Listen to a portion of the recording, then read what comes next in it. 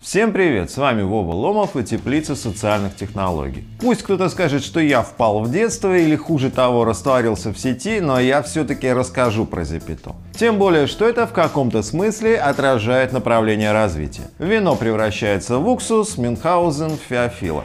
Зипето, так правильнее, хотя мне больше нравится, Зипето одно из самых популярных приложений на данный момент в разделе «Социальные сети». В ноябре оно обогнало по количеству скачиваний в Google Play, Instagram и YouTube. Говорят, что о нем все говорят, но я не слышал до сегодняшнего дня о Зепито ни разу. А возможно, эти все живут где-то не там, где я. Установив Зепито, я понял, что живут они на другой планете. Или я. Регистрация на платформе не хитрая, и вам предлагают сфотографироваться, чтобы создать свой аватар – мой аватар получился не очень качественным, я не понял, почему я вдруг лысый, но это можно исправить впоследствии. Правда, мужчин с длинными волосами тут нет.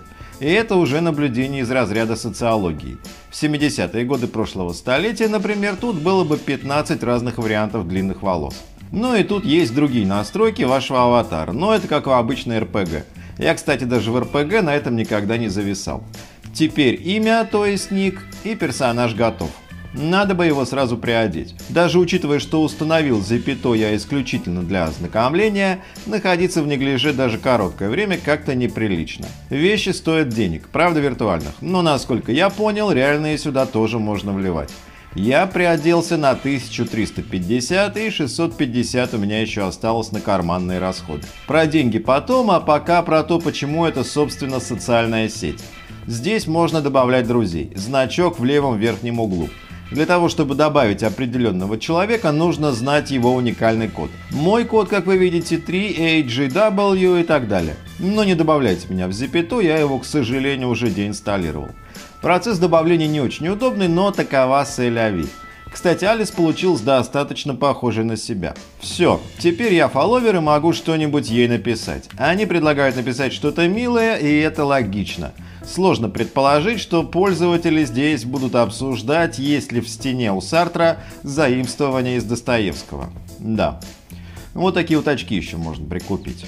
И предметы интерьера. Здесь информация о пользователе и скромные настройки. Это поиск пользователей, зипиторов или не знаю как назвать. Судя по никам, большой популярностью Зипито пользуется у японцев, что естественно. И главная фишка, ну наверное главная, закладка с изображением Пэкмана – Здесь вы можете зарабатывать деньги, проходя какие-то квесты и игры. Игра у меня, кстати, не загрузилась. Запятов в первую очередь ругают именно за то, что она часто виснет и рушится. И главное, что здесь есть, это возможность фотографировать своего аватара. Либо в гордом одиночестве, либо с другими зипетянами, которые у вас в друзьях. Где-то я читал, что именно после появления этой функции Зипетой набрал свою популярность.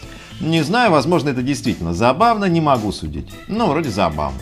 Можно вот на хромакее фотку сохранить, потом вырезать. Или сразу какой-то свой фон подложить. Ну, в общем, не знаю. Теоретически Зипито хвалят за то, что они засунули в социальную сеть игровые техники. Но игр и квестов здесь пока мало, хотя я глубоко не копал. Может, если все будет развиваться, есть у этого потенциал, но уж точно не в моем поколении, не в поколении моих детей.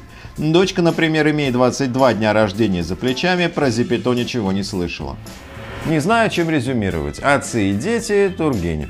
Проблема в том, что разрыв между поколениями стал значительно короче. Нынешние 20-летние уже не понимают 15-летних. Раньше между поколениями было лет 20. Все любите друг друга и не особо брюзжите по поводу молодых. Им расти, нам умоляться. Подписывайтесь на наш канал, оставляйте вопросы в комментариях к этому видео и пишите нам о том, что еще вы хотели бы узнать у теплицы социальных технологий.